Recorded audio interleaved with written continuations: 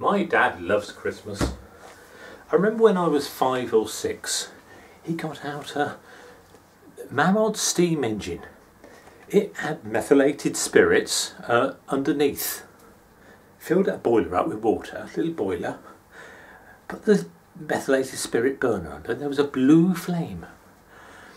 Heated the water, and then after the steam got up, it would start working. It had two little pistons. I'd never seen anything like it.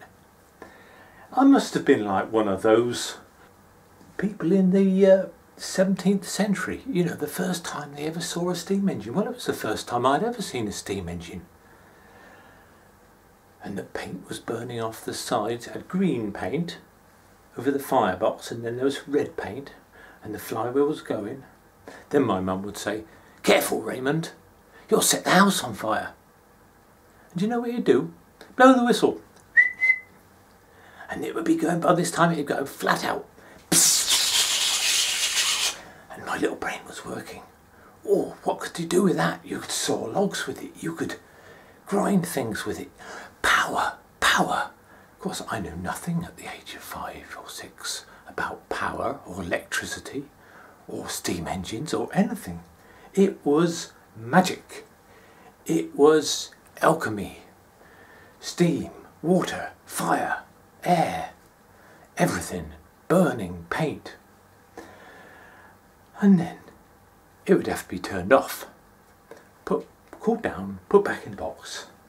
And by that time, my mother and my grandmother and my auntie and whoever other women were about would spread the, the whole table with a lavish feast of food.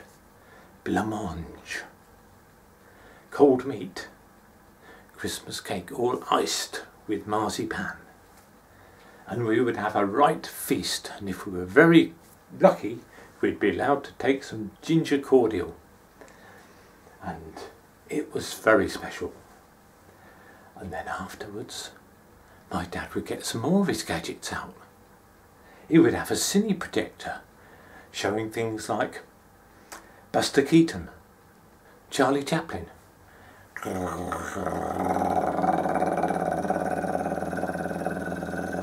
a big screen. I'd be more interested in the projector than the um, than the film. But what an atmosphere! The flickering light, the dust in the air, and then sometimes we might. Well, I remember one year he had bought himself a new sort of nutcracker, and you put the Brazil nut in the top, and then there was like a ratchet till it got up to the top, and then it would.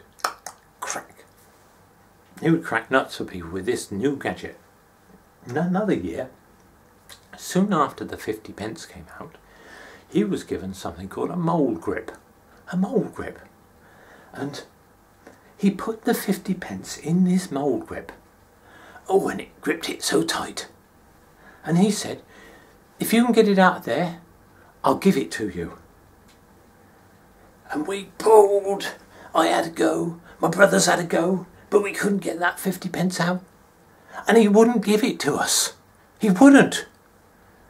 You'd have thought a reasonable man would have just taken out and given us each a 50 pence, wouldn't you? But he didn't. Oh, but my dad, he loved his gadgets. He really did love his gadgets. Those were the days.